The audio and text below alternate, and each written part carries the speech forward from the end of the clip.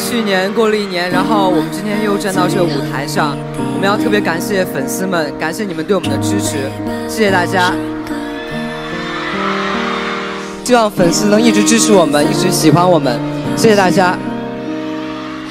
希望大家一直支持我们。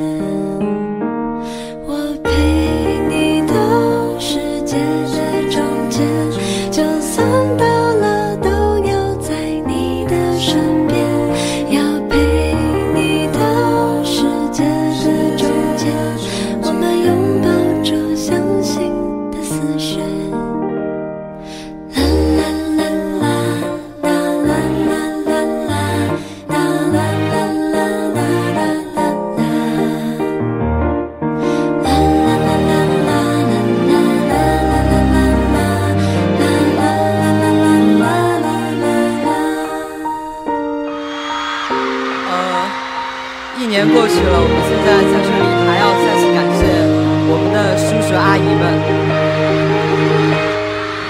失去了没有想过，就是进入这个行业之后，我觉得失去的应该会比获得的要少很多，获得的应该会特别多，然后更多还要看粉丝能支持多久，毕竟粉丝是我们所有嘛，他们能支持我们多久，我们就能活多久。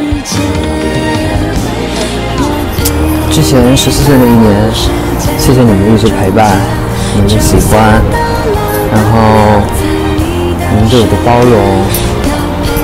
嗯，十五岁易烊千玺会更加努力，然后每次的练习都特别拼命。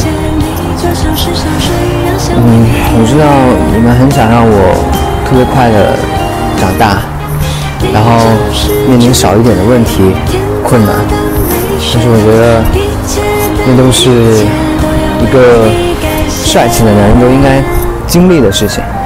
但是幸好我遇到了你们，你们。让我肩上多了更多的责任，但是也让我的心里更踏实、更有安全感。嗯，谢谢你们的出现，谢谢你们的陪伴。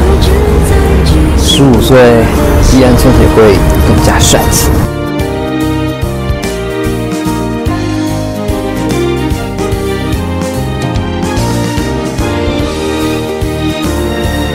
我想对一直陪着我的粉丝们说，我们能真切感受到你们给我们的爱，我也爱你们，谢谢你们。